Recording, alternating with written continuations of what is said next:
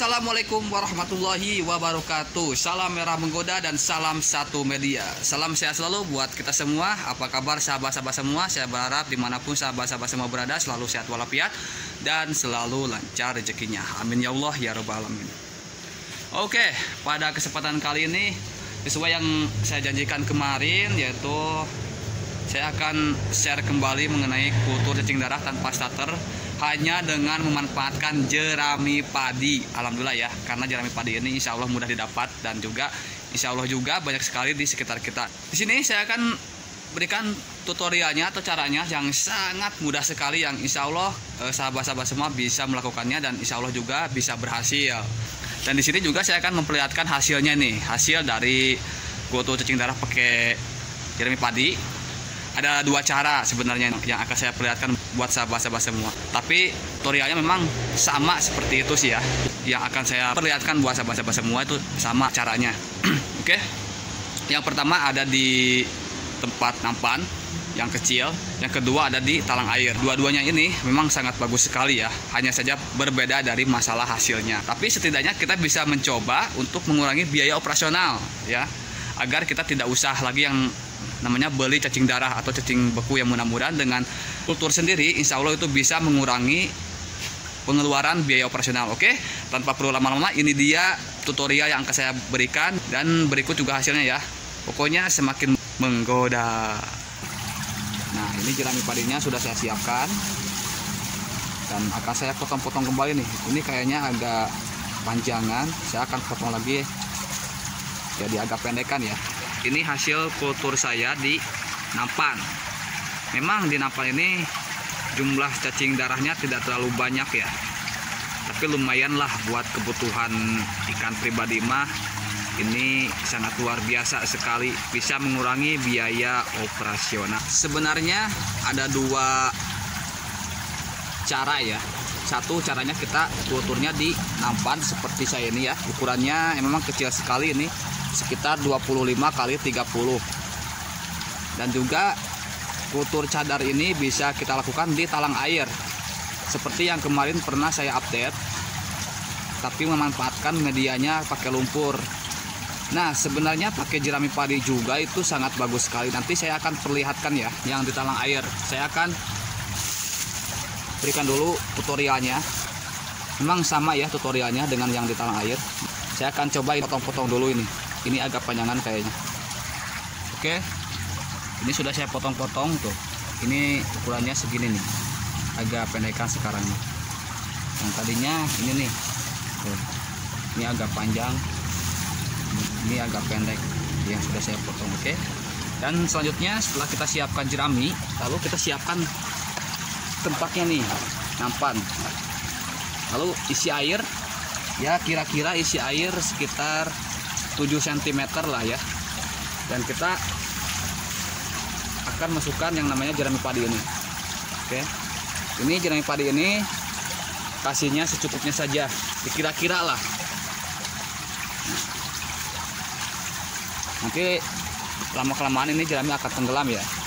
Dan jerami padi ini nantinya akan ditempati sebagai rumah cacing darah. Oke. Setelah ini kita tunggu tiga hari ke depan. Nah setelah tiga hari ke depan kita kasih yang namanya makanan cacing darah. Sama percis makanan cacing darah ini dengan cacing sutra. Kalau kita punya fermentasi ampas tahu boleh kita kasih. Mau nasi bekas juga nggak apa-apa. Tahu tempe oncom juga nggak apa-apa ya. Simpan di sini yang nantinya untuk makanan cacing darah. Oke kita tunggu sampai tiga hari ini. Dan memang sangat mudah sekali ya sangat mudah sekali kultur cacing darah tanpa starter. Hanya saja ini ada sedikit perbedaan dengan yang di talang air. Kalau di talang air kan itu ada aliran air ya jadi tumbuh cacing darah lebih cepat di aliran air. Kalau di tanpa air ini memang agak sedikit lama tapi setidaknya kita bisa sambil nunggu agar cacing darah ini bisa benar-benar tumbuh banyak seperti ini nih. Ya. Lumayan nih sangat banyak sekali tuh. Dan kemungkinan ini cacing darah akan tumbuh di hari ke 7 atau satu minggu ke depan. Kita tunggu saja lah yang penting kita sabar insya Allah itu pasti bakal tumbuh cacing darah pasti bakal tumbuh cacing darah. Nah sekarang cara penyimpanannya bagaimana? Ini kita simpan ya kita simpan di tempat yang lembab.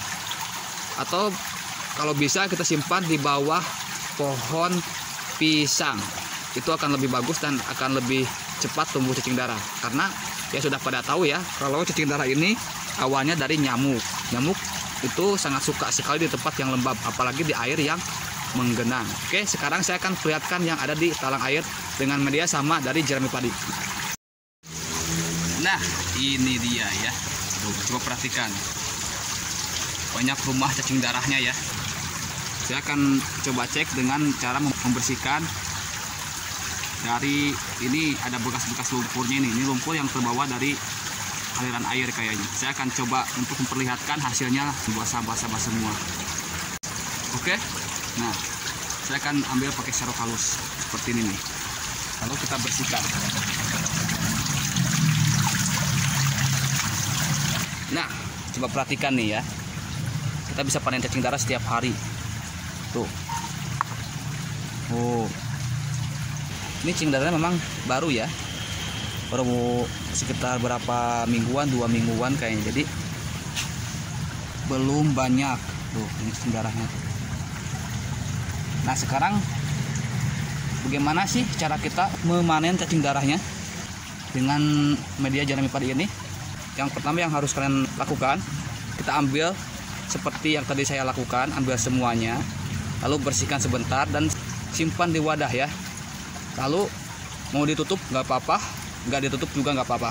Simpan, biarkan selama kurang lebih dua jam atau tiga jam. Simpan. Nanti cacing darah akan jadi nanti seperti ini nih itu. Saya akan perlihatkan buat sahabat-sahabat semua ya. Dan cara ngambilnya tuh seperti ini. Mudah sekali kok.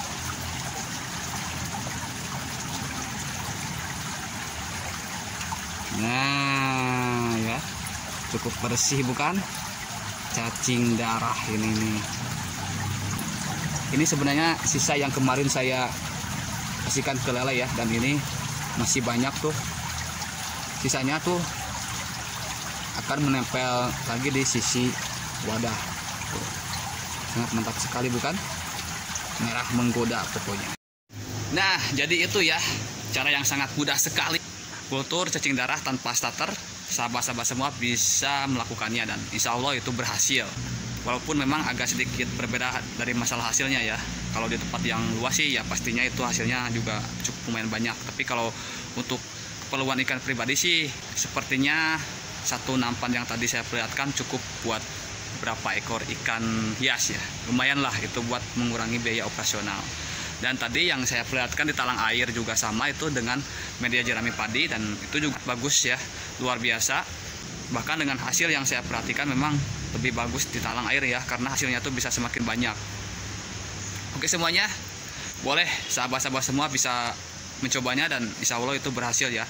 Dan selalu saya doakan buat sahabat-sahabat semua semoga berhasil baik itu di kultur kutu air, kultur cacing darah dan juga budidaya cacing sutra. Oke semuanya, semoga tutorial yang barusan saya share sahabat-sahabat semua bisa memberikan manfaat ya. Dan juga kita bisa mengadakan pakan alami sendiri khusus buat bibit ikan kita atau khusus buat ikan peliharaan kita terutama ikan hias ya.